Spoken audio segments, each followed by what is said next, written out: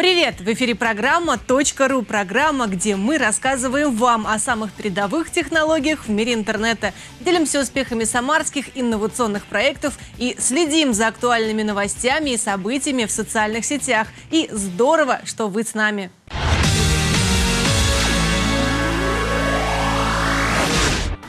Сегодня в программе «Осенний поцелуй» от самарских фотографов – Паровоз «Лебедянка» уже в городе.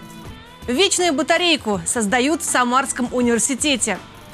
Самые популярные аккаунты животных. Девушки, завидуйте, 19 нарядов в минуту. Все это и многое другое прямо сейчас.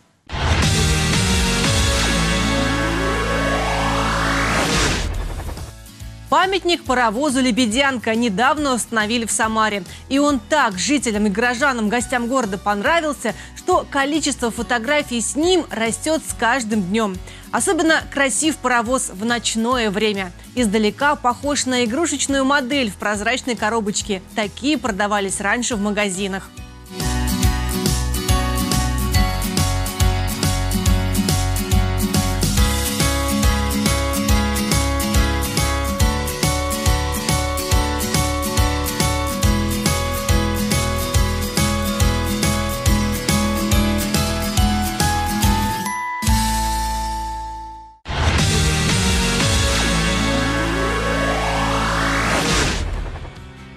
Интересно было на минувшей неделе заглянуть в аккаунты наших горожан, неравнодушных к красоте окружающего мира.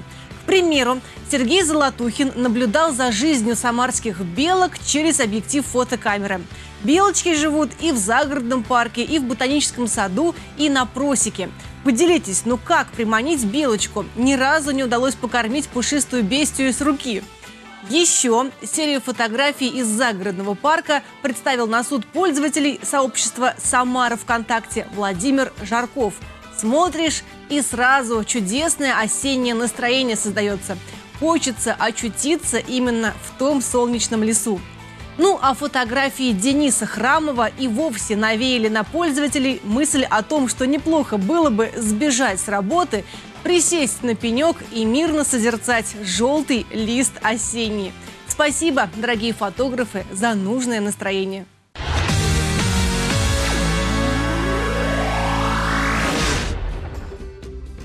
Самарском университете создают аналог вечной батарейки. Ученые разработали технологию, которая позволяет создать батарейку со сроком службы более 100 лет – над созданием источников питания, которые могли бы работать за счет энергии радиоизотопов, сейчас трудятся ученые по всему миру. Экспериментальные образцы ядерных батареек существуют и в России, и в Швейцарии, и в США. Преимущество разработок ученых именно Самарского университета заключается в том, что создаваемый на основе их технологий продукт будет отличаться экологичностью, дешевизной и длительным периодом эксплуатации – Областью применения вечных батареек в первую очередь являются технологии будущего, а также автомобилестроение, медицина и управление механизмами.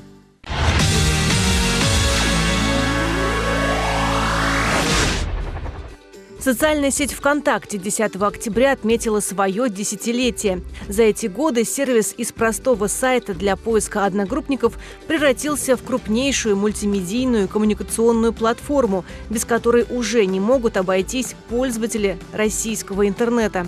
Дата появления соцсети совпадает с днем рождения создателя сайта Павла Дурова – по словам Павла, в 2006 году он создал первую версию проекта всего за месяц, и это научило его работать либо быстро и качественно, либо долго и плохо. Ну а уже в следующем году ВКонтакте запустит на Международную космическую станцию капсулу с умным ботом Спотти – Устройство станет связующим звеном между пользователями и экипажем МКС, будет передавать на Землю фотографии и видео происходящего на станции, а также сможет получать контент от пользователей. Наконец, наряжен своеобразный Ноев ковчег космической биологии. Он пролетит 700 тысяч километров и вернется на Землю. Люди всегда стремились к прогрессу, новаторству, творчеству. Сегодня вы не знаете границ и нарушаете правила. Вы следуете своему сердцу. Создаете новые смыслы. Движение и свой взгляд на мир.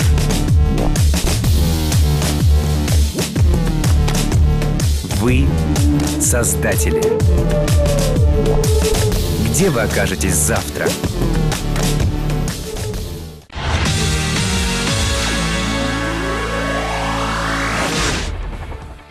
Люди редко способны на такую преданность и любовь, на какую способны звери.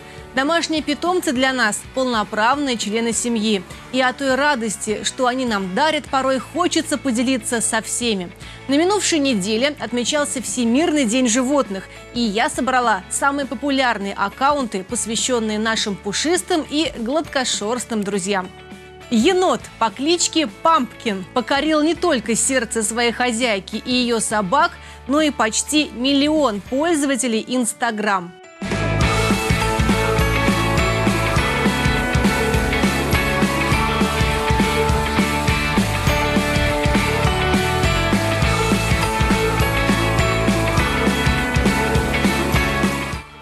У себя дома мужчина по имени Стив собрал разношерстное племя – собаки, птицы, кролик и даже свинья. Всех животных он взял из приютов и регулярно делится фотографиями из их быта. За жизнью большой семьи следят 600 тысяч человек.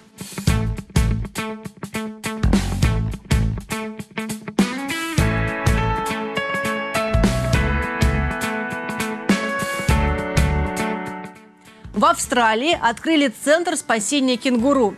Животных здесь выхаживают еще малышами и растят свободными в ласке и заботе. На страницу подписаны 500 тысяч пользователей.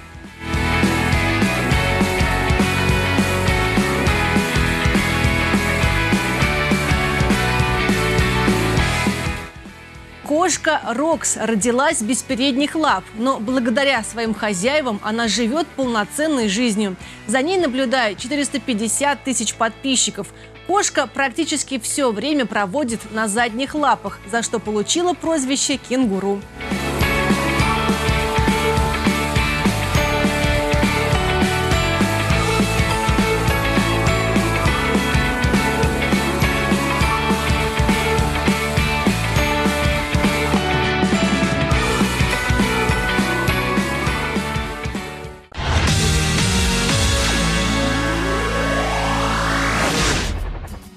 Извечные женские проблемы. Некуда положить и нечего надеть.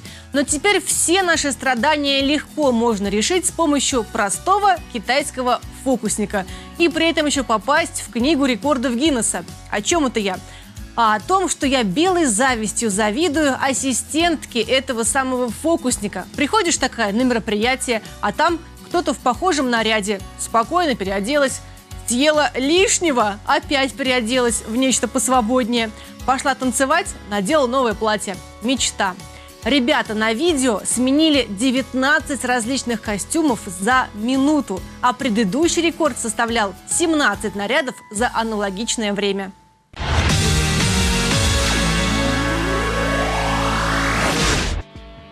Сегодня все. И помните, друзья, главное, чтобы интернет приближал вас к миру, но не отдалял от жизни. Мы всегда рады вашим лайкам, комментариям и репостам. Подписывайтесь на наши странички в социальных сетях. Интересные фото, актуальные новости и телевизионная кухня. Итак, наш сайт, Твиттер, Инстаграм, группа ВКонтакте, Фейсбук и канал на Ютьюбе. Смотрите нас через приложение на своих смартфонах и планшетах. Всем лайк! Пока!